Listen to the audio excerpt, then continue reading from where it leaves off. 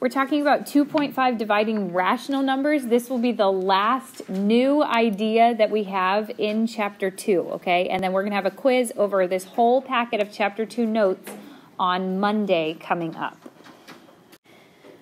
All right, so the past couple days we have been talking about this word reciprocal. Remember, that's where you flip the fraction. So, guys, what would the reciprocal of 3 fourths be? Four thirds. Four thirds. Please write that in your notes. Now we are going to do a few examples of reciprocals. Some look as easy as this, and some are a little bit more difficult. Let's look at the first one 3 fifths.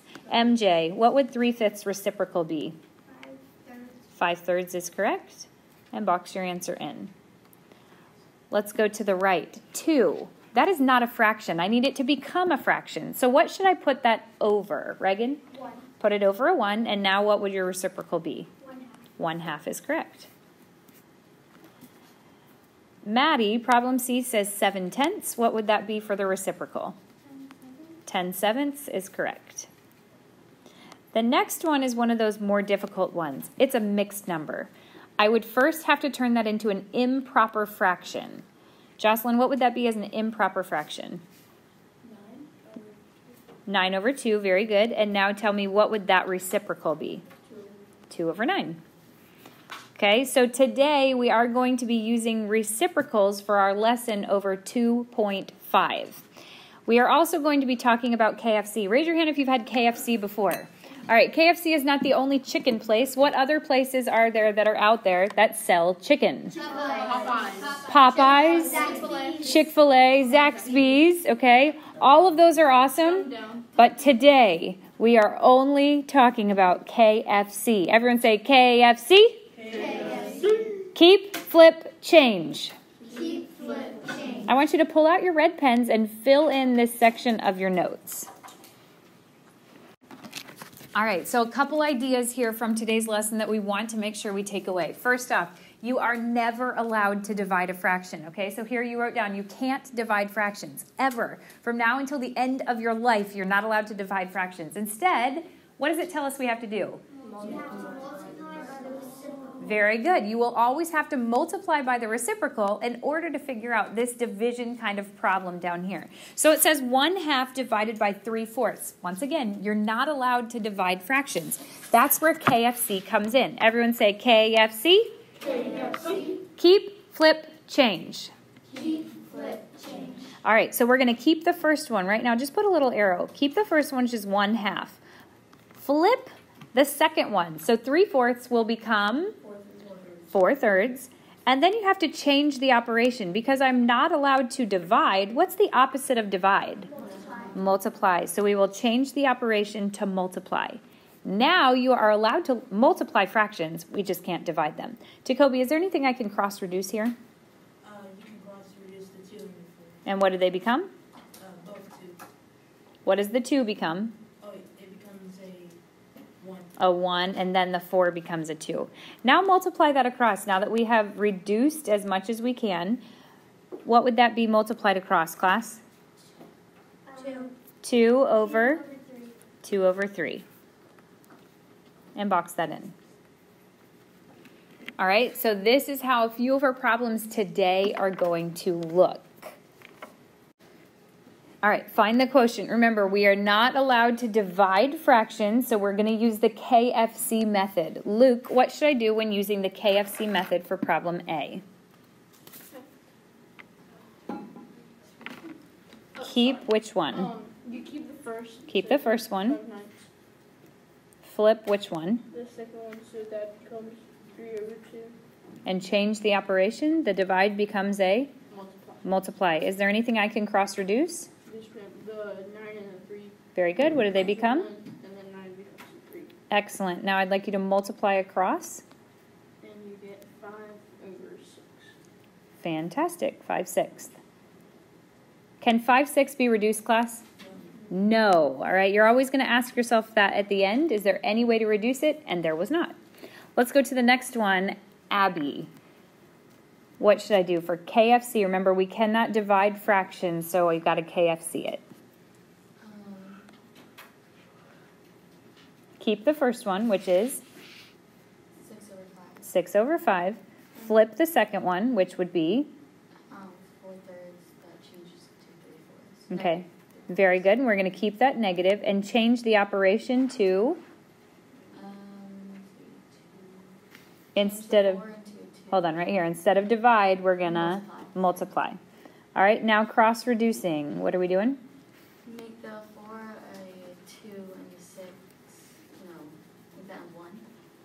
No, and then you make the six a three. Very good. Okay, so in this case, it was not that a 4 could go into a 6 or a 6 can go into a 4, but there is a number that can go into a 6 and into a 4. What number can go into both of them? A 2. So that's how we get this. 6 divided by 2 equals 3. 4 divided by 2 equals 2. And that's how she cross reduced. All right, now let's look at this whole thing. Abby, is our answer going to be positive or negative? Um, negative. Very good. There was only one negative in the original problem. That's an odd number of negatives, so our answer is going to be negative. Back to Abby. Let's multiply the numerators together. What do you get? Oh, sorry, nine, 9. Then multiply the denominators together, and what do you get? Very good. So your final answer is negative 9 tenths is correct. All right, for the next part, we're going to start with our first number right here. I'm going to pretend the negatives aren't there. We'll look at the negatives here in just a bit. But thinking of our final answer, is this answer going to be a positive or a negative answer? It will be a positive, okay? So right now we're just going to pretend these negative signs are not there, and we'll think about it being a positive at the end. We'll start with the first number, 8.4 divided by, okay, so you're always going to put that little divided by sign on top of the first number, 3.6. Now, this is something you've learned before, but this number out here is not allowed to have a decimal point. So, do you guys know what I have to do with that decimal point? Oh, uh, What do I do, Luke? You have to you uh, have to move it. You are correct. You move it like two. You move it how many times till it's like out of the way. Good job. You move it however many times until it's out of the way. How many times do I need to move this one? I only need to move it one time. I want you to take your red pen and go like this. That little scoop is basically showing me I've moved my decimal point to behind the six. But I've got to be fair. If I do it to that number, I also have to do it to this number. And then the decimal point goes right there at the end. Take your red pens, put them back at the top of your desk, and we're going to rewrite this problem. Now it's going to say 84 divided by 36. Because I'm dealing with decimals here, I am going to have a decimal answer. So if you would, just add your decimal point and add three zeros to the end of this problem. Now let's do some rounding here. This number 36, if I were to round it up, what would that become? A 40. Let's just estimate or guess. How many times can a 40 go into an 84? Twice. Okay, so we're going to take our best guess and put a 2 on top. 2 times 6 is 12. 2 times 3 is 6. Add that 1, which is 7. Let's subtract this. Ellie, 4 minus 2? 8 minus 7? 1. Class, is this 12 smaller than the 36? Yes. Because it is, we can bring down that 0. Now remember, we are trying to think of this 36 as a 40. We're rounding it up to take our best guess. How many times do you guys think that 36 can go into this 120? Three. Three times. That looks like a good guess to me. Let's multiply. 3 times 6 is 18. 3 times 3 is 9. Plus 1 is 10. Let's subtract it. When you subtract it, Jocelyn, what do you get? All right, we get a 12. The 12 is smaller than the 36. Let's bring down a 0. How many times can the 36 go into 120? Three. Three times, once again. Do you guys see any kind of a pattern here? Yes. Yes, look, it's going to keep coming where I keep getting 12 and bringing down to 0, okay? Do you think it's ever going to end? I don't think it is either. What is that decimal called if it keeps going? Repeat. A repeating decimal. So I don't want to box in my answer up here. I'm going to write it off to the side. But instead of writing 2.33333333, someone raise your hand and tell me what I am going to do. Autumn, what will I do? Two, one, three, or repeat. Very good. Should I put my repeating sign like that, class? No. No, why not? Because it's only repeating three.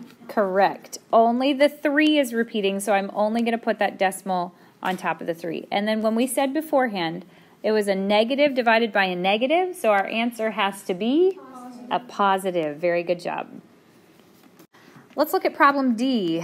Is this going to be a positive or a negative answer? It will be a negative because there's only one negative sign there. So write that first number first, 2.4, divided by 3.2. Remember, you are not allowed to have any decimal points on that number over there on the left side. So, Jacoby, what should I do with my decimal point? Um, should move it to the right. We should move it to the right. Guys, take your red pen. Show me with these little scoops that you are moving it to the right. Then put your red pen down, and we are going to rewrite this problem to the side. 24 divided by 32. Remember, put your decimal point at the end, and how many zeros do we like to add? We're going to add three. Sometimes you might use them, sometimes you might not. All right, and that's okay. Bring the decimal point up. Does anyone have a guess of how many times a 32 might go into this 240 right here? Okay, the two best guesses that I just heard were 7 and 8. Okay, here's what I want you to think about. A 32 is similar to a 30, right? And if a 30 was trying to go into a 240, it would go in eight times.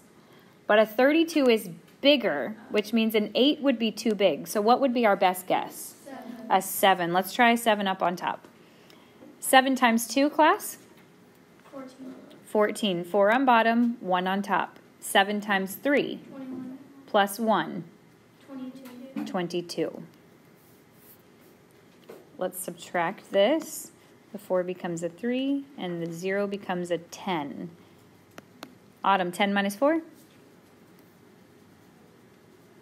Six. 6. 3 minus 2. One. 1. Class, is the 16 smaller than that 32? Yeah. Yes, bring down the 0. Now we've got another guessing thing here. Remember, 32 is similar to 30. What's your best guess of how many times a 30 would go into 160? Show me with your fingers what you think. I see a lot of fives. That would be my best guess also. So let's put a 5 on top. Luke, 5 times 2? Is ten. 0 on bottom, 1 on top. 5 times 3? Is fifteen. Plus one? Is 16. Guys, what's 160 minus 160? Zero. And remember, whenever we get that zero at the end, we are very happy because that means our problem is done. Can I box it in up top? No. No, we're going to rewrite it over here. And this is when we reflect should my answer be a positive or a negative? It is a negative because there was only one negative number in the original problem. Any questions on how we did finding the quotient? All right, excellent. Let me have you guys turn your page to the back side. This will be our final paper here in 2.5. Evaluate the expression when x equals 3 fifths and y equals 10. Repeat after me. Plug it in, plug it in. Excellent. Ellie, what am I plugging in for y? 10. Everybody write a 10. And then we're going to divide the x. Ellie, what is the x? 3 over 5. Now, this is difficult when I have a whole number and a fraction, so let's turn them both into fractions. Ellie, how do I turn the 10 into a fraction? Put it over 1. Class, am I allowed to divide fractions? No. What method do I have to use? KFC. What does KFC stand for? Keep, flip, change. All right, everybody, keep the first one. So we're going to rewrite 10 over 1. Flip the second one. What does the second one become? Five over 3. And change the operation to Multiply. multiply. If I'm looking right here, is there anything that I can cross multiply? No. No. How about this way? No. No. That means all I can do is multiply across. Regan, what's 10 times 5? Fifty. What's 1 times 3? Three. Very good. Am I allowed to keep this as my answer? no. Why not? Because it's improper. It's improper. We cannot leave it improper. So 50 over 3 means what? Um, fifty divided by. 50 divided by 3. We're trying to figure out how many times a 3 can go into a 50. Okay? We can see here 1 times 3 is 3. 6 times 3 is 18. Now, let's think about this. Should I make this a decimal or keep it as a fraction? Keep it as a fraction. Here's why. I started with fractions, which means my answer needs to come out as a fraction. Okay, so my whole number here is 16, and what's the fraction? Two thirds. And 2 thirds. Is this answer going to be positive or negative? Positive. It is positive. Box it in. I want you guys to try problem B on your own. You're going to plug in what X is and then use KFC to help you on that problem. All right, guys, what'd you plug in for X? Three fifths. Good job. Then we have to keep that first one, flip the second one, and change the operation. Jonathan, did you cross reduce anything? Yes, what do the fives become? A one. MJ, when you multiply that together, what do you get? Um, one, two, three. Three over. Two. Very good. Can I leave it like that? No. When you guys, some of you did it in your head, some of you did it to the side. What did you get when you did this? One and one half. One and one half. Is this answer a positive or a negative answer? Positive. It is a positive one and one half. This asks us to find the mean of the data set. Do you guys know what that word mean means? What's it mean?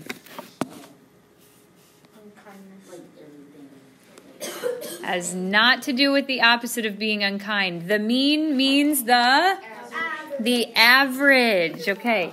So in order to find the average of something, do you guys know how to find the average? Yes. You have to add up all the numbers, okay, and then divide. So that's what we're going to do with this data set. That's all that the mean means is to find the average. So we're going to work on this over here off to the side, and we're adding these numbers up together.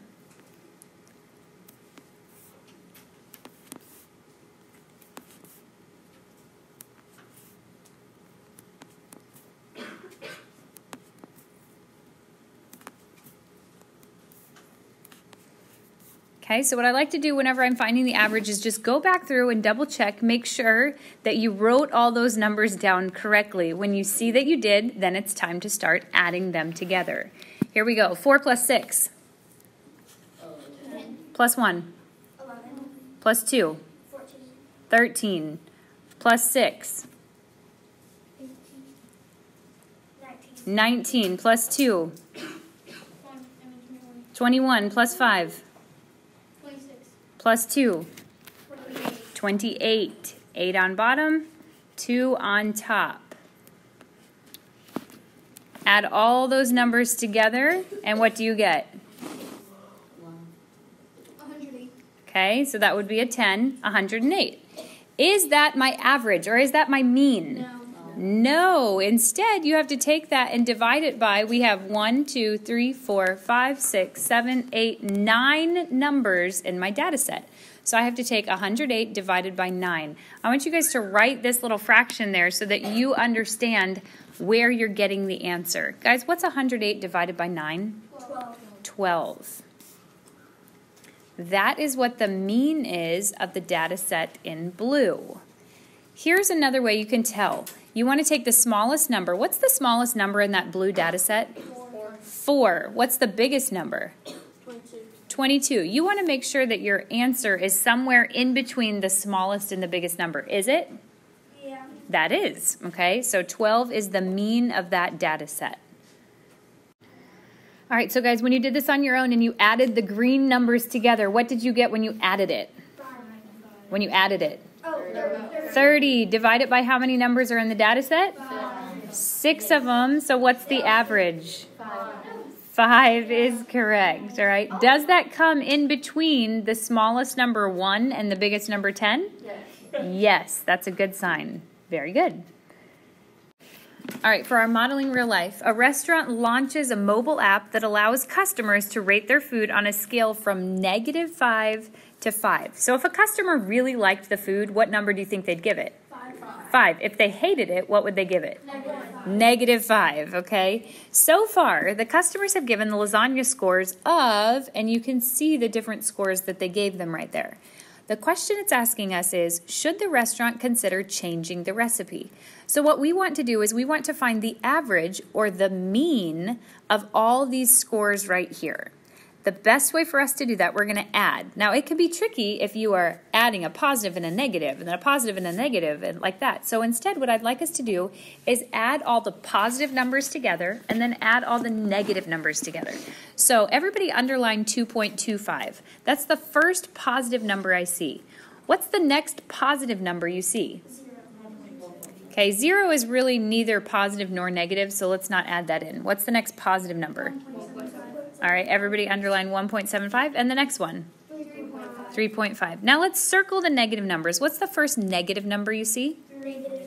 Negative 3.5. What's the next one? Negative four point five. Very good. And the last one? Negative Oh.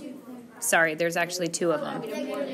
Negative 1 and negative 2.5. Good job, guys. So here, we need to line up the decimal points when we add and subtract. So let's just focus on our positive numbers for right now. We've got 2.25, 1.75, and 3.5. Let's put a zero as a placeholder there at the end. You guys add those up together on your own. All right, when you guys added that, what'd you get? Ten point fifty. Seven Seven point fifty. All right, 7.50. Was this positive or negative? Positive. That is positive. Now let's focus on adding up all these negatives. Remember, same sign, add and keep. We're going to add the numbers and keep the sign. We have a 3.5, a 4.5. What should I do with this 1? Put a zero. There you go. 1.0. And then finally, 2.5. I want you guys to add those negative numbers together. All right, when you added those together, what did you get? 11.5. Now remember, those are our negative numbers, so that should be Negative. negative 11.5. What I want to do now is combine these two. Okay, we're adding them all together. Same sign or different sign? Different. Different signs. So we're going to do different signs, subtract, and take. The bigger absolute value is the 11.5. So I'll put that number on the top and subtract 7.5. When you do that, you'll get 4.0. But remember, we want to take the sign of the larger number, which was a a negative. So we have negative 4.0 or negative 4. I'm still not finished because if you remember, when we try to find the average of something, we add up all the numbers, which is what we just did, and then divide by the number of numbers in the data set, including the zero that somebody gave this company. How many people voted? Eight people. So we are going to take negative 4 divided by 8. Can that be reduced at all? No. Yes. Yes, there's a number that can go into a 4 that can also go into an 8. What is it? A 2 can? What's bigger? A 4. What's 4 divided by 4? 1. What's 8 divided by 4? Two. And that was a negative fraction before, so it's still a negative fraction, okay? So the overall average of all these 8 people, the score was a negative half. Here's the question. Should the restaurant consider changing their recipe, yes or no? Yes. Yes. Can someone please explain to me why this restaurant should consider changing their recipe? Jonathan, I think you got it right there. The overall average is a negative score, okay? So if the score is below zero or if it's a negative, that really means people do not like it. All right, so we've said here the overall score is a negative. Obviously, if they're in the negative direction, that means the majority of the people are not enjoying the lasagna. So tonight's homework is 2.5. There are nine problems, okay? And then also remember you need to bring your poster board tomorrow so that you can work on your timeline events paper. All right? If you would, when you go home, take that purple paper that I've given back to you, type up those sentences, and then when you come on Thursday and Friday, please bring things to work on on your poster since I'm giving you in class time to work on your project.